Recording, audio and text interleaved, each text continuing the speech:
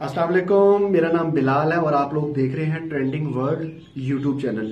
आप में से बहुत सारे लोग ऐसे होंगे जिनको घूमने फिरने का बहुत ज़्यादा शौक होगा। अब तो जारी बात है, हर बंदा घरों में लॉकडाउन है। मैं वैसे ही जर्नली बात कर रहा हूँ कि बहुत सारे लोग ऐसे होंगे जिनको घूमने फिरने का बहुत ज़्यादा शौक होगा। पर्सनली मुझे घूमने फिरने का बहुत शौक है। न्यू न्यू प्लेसेस को एक्सप्लोर करना मुझे अच्छा लगता है।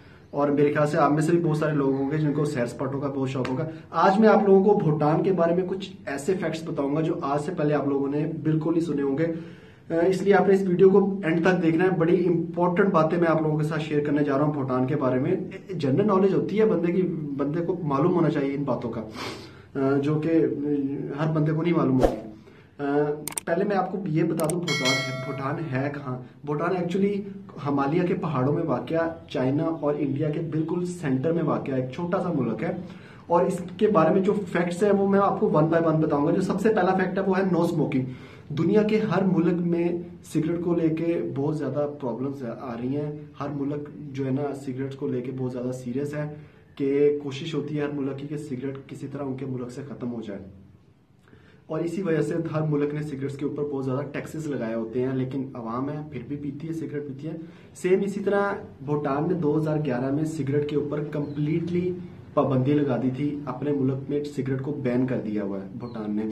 और सिर्फ़ सिगरेट ही नहीं, बल्कि तंबाकू को काश्त करने के ऊपर और इसको इम्पोर्ट करने के ऊपर भी पूरी पाबंदी लगा दी हुई है। और आपको पूरे भूटान में कोई भी शख्स सिगरेट पीता हुआ या तंबाकू की काश्त करता हुआ नज़र नहीं आएगा, ठीक है?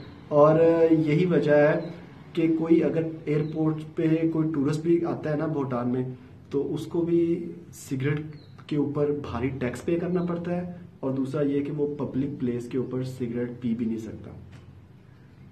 कैसी बात है? कभी ऐसा सुना किसी मुल्क के बारे में आपने? अगर कोई ऐसा मुल्क हो तो कमेंट सेक्शन में आप लोग ज़रूर बताइएगा। दूसरे नंबर पे ऑनरशिप भूटान दुनिया का वाहिद मुल्क है, जिसमें आपको कोई भी बंदा सड़कों के ऊपर सोता हुआ नज़र नहीं आएगा। हर बंदे का भूटान में घर है। इवन जिसके पास घर नहीं है सिंपल सा तरीका है, वो भूटान के बादशाह के पास जाए।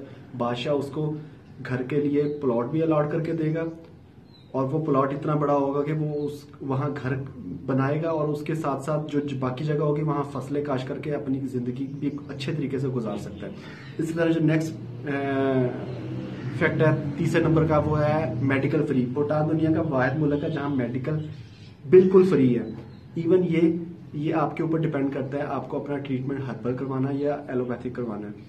चेकअप से लेकर ऑपरेशन तक सब खर्चे की ज़िम्मेदारी गवर्नमेंट की है। आपका एक रुपए का भी खर्चा नहीं है भूटान के अंदर। जी। सेम नेक्स्ट इसी तरह जो नेक्स्ट फैक्ट है वो है एयरपोर्ट दुनिया का वाहिद एयरपोर्ट है जो सबसे ज़्यादा डेंजरस है। पूरी दुनिया में सिर्फ़ सात ऐसे पायलट है जिनको टेक ऑफ़ की और लैंडिंग की परमिशन है। उसके अलावा और कोई बंदा जो है ना लैंडिंग और टेक ऑफ़ नहीं कर सकता। रात के टाइम फ्लाइट्स बंद होती हैं, सिर्फ़ दिन के टाइम फ्लाइट्स आती है। पूरे साल में सिर्फ़ चालीस हज़ार टूरिस्ट जो है ना थ्रू एयरपोर्ट इंटर हो सकते हैं। एक, उन्होंने स्पेसिफिक तादाद नंबर में नंबर्स में तादाद बता दी है, बस इससे ज़्यादा बंदा पूरे साल में नहीं आ सकता।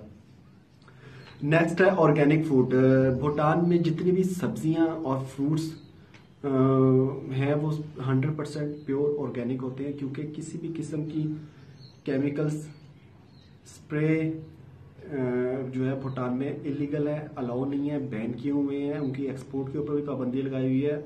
यही वजह है कि भूटान के अंदर आपको सब्ज़ी हो फ्रूट हो हंड्रेड परसेंट प्योर और नेचुरल मिलेंगे।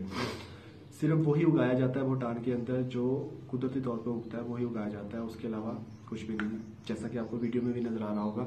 आ, ये वुमेन राइट्स पूरी दुनिया में वुमेन्स को इक्वली राइट्स दिए जाते हैं लेकिन भूटान में रहने वाली लेडीज़ को लकी लेडीज़ कहा जाता है दूसरे मुल्कों की निस्बत।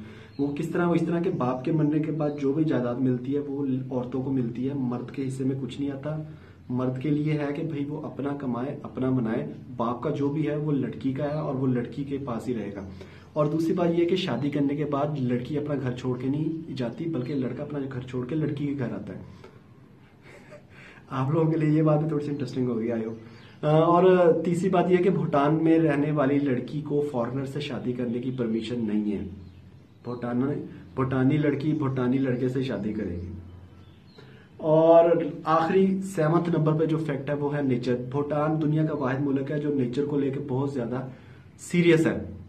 गवर्नमेंट के लॉ के मुताबिक पूरे मुल्क में अट्ठावन फिफ्टी एट परसेंट एरिया जो है ना, वो दरख्तों से घिरा होना चाहिए, यानी ग्रीनरी होनी चाहिए.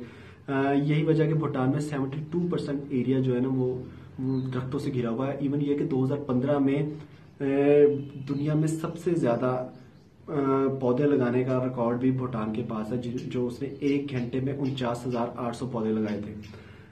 भूटान दुनिया का वाहिद कार्बन डाइऑक्साइड नेगेटिव कंट्री है। मतलब ये कि जितनी कार्बन डाइऑक्साइड प्रोड्यूस करता है भूटान, उससे ज़्यादा वो जज्ब कर रहता है। यही वजह है कि ऐसा प्योर एरिया आपको दुनिया में कहीं नहीं मिलेगा। मेरी वीडियो पसंद आई हो तो कमेंट में भी बताइएगा, वीडियो को लाइक भी कीजिएगा और चैनल को सब्सक्राइब कीजिएगा। Thank you